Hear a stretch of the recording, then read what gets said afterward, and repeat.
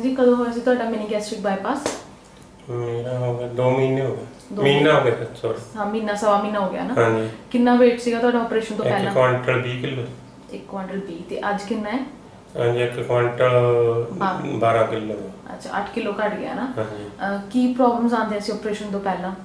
ਪਹਿਲਾਂ ਘਰਾੜੇ ਉਹ ਆਉਂਦੇ ਸੀ ਕਿ ਜਦੋਂ ਪਾਸਾ ਲੈਂਦਾ ਇੱਕ ਸਾਈਡ ਨੂੰ। ਹੂੰ ਹੂੰ ਗਲ ਜਿਹਾ ਭਰ ਜਾਂਦਾ ਪਾਣੀ ਨਾਲ ਉੱਠਣਾ ਪੈਂਦਾ ਸੀਗਾ। ਅੱਛਾ ਸਲੀਪ ਉਹ- ਸੀਗਾ। ਹਾਂ। ਤੇ ਹੁਣ ਉਹ ਠੀਕ ਹੈ ਸਾਰੇ। ਤੇ ਸਾਹ ਵੀ ਚੜਦਾ ਸੀ ਚੱਲਦੇ ਹੋਏ? ਹਾਂ ਸਾਹ ਬਹੁਤ ਚੜ ਅਬ ਆਪਰੇਸ਼ਨ ਤੋਂ ਬਾਅਦ ਤੁਹਾਡਾ ਜਿਹੜਾ ਘਰਾੜੇ ਵੱਜਦੇ ਸੀ ਉਹ ਬੰਦ ਹੋ ਗਿਆ ਹਾਂਜੀ। ਅੱਛਾ ਸਲੀਪ ਔਰ ਡਾਈਟ ਕਿੱਦਾਂ ਚੱਲਦੀ ਹੈ? ਡਾਈਟ ਠੀਕ ਹੈ ਜਿੱਦਾਂ। ਠੀਕ ਹੈ। ਇੱਕ ਖਾਣ ਪੀਣ ਵਧੀਆ।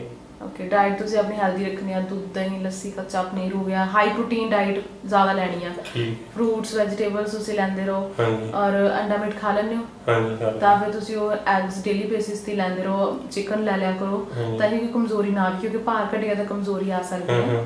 ਔਰ ਤੁਹਾਨੂੰ ਮਲਟੀ ਵਿਟਾਮਿਨਸ ਜਿਹੜੇ ਟੈਬਲੇਟਸ ਦਿੱਤੀਆਂ ਉਹ ਵੀ ਲੈ ਰਹੇ ਹੋ? ਹਾਂਜੀ। ਉਹ- ਵੀ ਤੁਸੀਂ ਰੈਗੂਲਰ ਹੀ ਰੱਖਣੇ ਹਨ ਤਾਂ ਕਿ ਕੋਈ ਡੈਫੀਸ਼ੀਐਂਸੀ ਨਾ ਆਵੇ ਬਾਡੀ ਵਿੱਚ।